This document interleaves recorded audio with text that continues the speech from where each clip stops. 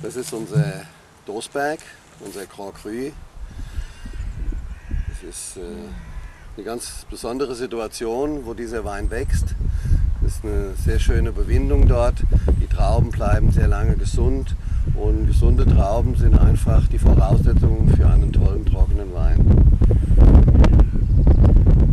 Der Wein wird im großen Holzfass ausgebaut, weil er hat schon eine sehr kräftige Struktur.